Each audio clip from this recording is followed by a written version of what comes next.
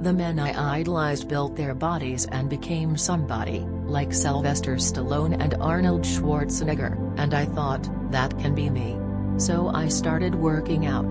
The funny thing is I didn't realize back then that I was having a defining moment. Success isn't always about greatness, it's about consistency. Consistent, hard work gains success. Greatness will come. Football changed my life and it gave me a platform to get out my aggression and it gave me a sense of value.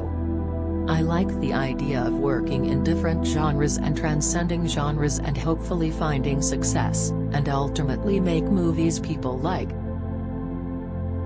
When he speaks to you he speaks with an earnest vibe and an earnest energy. Wrestling was like stand-up comedy for me. The one thing I couldn't identify with was the blue cowboy outfit he put on. I was a bit challenged when I was younger to stay on the right path.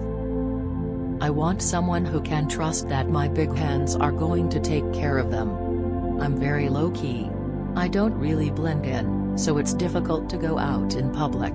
I like to do things that are kind of quiet, whether it's a dinner at my house or a restaurant, or a movie night at home. Is, it's always very rewarding when you can make an audience laugh. I don't mind making fun of myself. I like self-deprecating comedy. But I'd like you to laugh with me occasionally, too. I like the idea of making a big, fun, adventure type of movie. Thank you for watching this video.